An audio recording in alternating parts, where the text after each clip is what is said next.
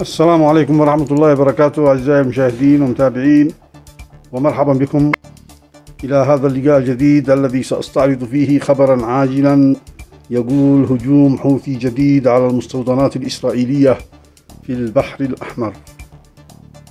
وإلى التفاصيل.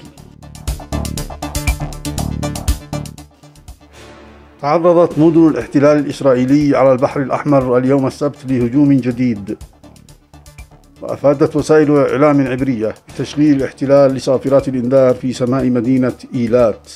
عقب رصد دائرات مسيرة في حين تحدث ناشدون عن انفجارات في المدينة التي ظلت مؤخرا هدفا لقوات صنعاء. وتتعرض المدينة الواقعة على البحر الأحمر لهجمات متصاعدة منذ أكثر من أسبوع لتزداد وتيرتها مع إعلان متحدث قوات صنعاء رسميا دخول صنعاء على خط الظفار الأقصى رسميا. ويعد الهجوم هو الخامس منذ أيام. ومن جهة أخرى كشفت وسائل إعلام إسرائيلية أن دخول اليمن خط المعركة على الاحتلال الإسرائيلي جعل الأخير يجري تغييرات كبيرة ولافتة في استراتيجيته الدفاعية ورفع الوتيرة عاليا لدعم التسليح وتطوير الدفاعات. ونشر موقع يانت الإسرائيلي إن الكيان يقوم بنشاط عالي بشراء القنابل والصواريخ والطائرات بدون طيار وأسلحة أخرى وذلك استعدادا للقتال على عدة جبهات مضيفا أن السبب في رفع هذه الوتيرة عاليا هو إعلان اليمن الحرب وقيام الحوثيين اليمنيين بإطلاق دائرات مسيرة وصواريخ باليستية وصواريخ كروز على إسرائيل.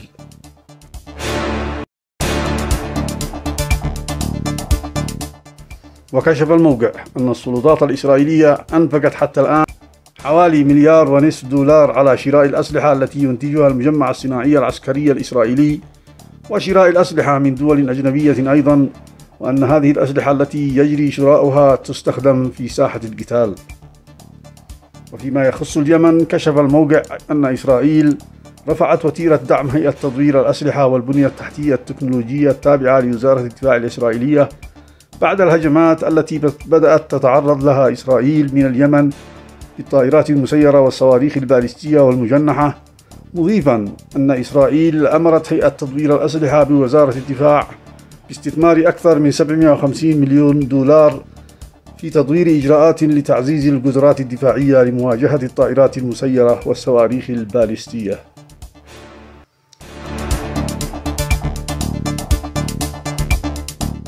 وجاء في تقرير الموقع إن دخول اليمن وتعدد الجبهات على الاحتلال الإسرائيلي دفع الأخيرة إلى تحويل 651 منشأة صناعية مدنية إلى العمل في الإنتاج الحربي.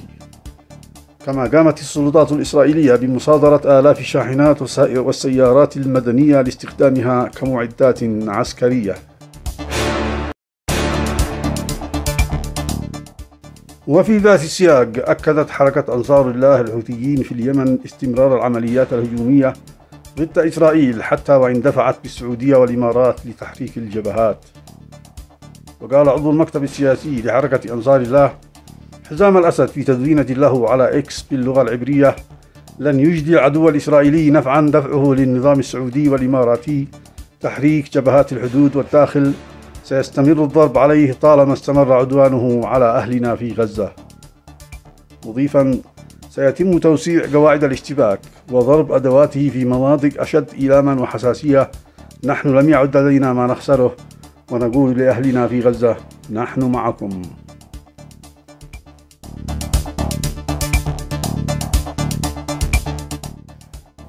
انتهى الخبر وأرجو منكم كتابة آرائكم في, التعليقات. وذلك لمعرفة مدى الزخم التي تنتجه الضربات اليمنية لإسرائيل. أشكركم على حسن المتابعة والإصغاء ولا تنسوا الإعجاب بالفيديو والاشتراك في القناة وتفعيل جرس التنبيهات. وهذه خالص تحياتي لكم والسلام عليكم ورحمة الله وبركاته.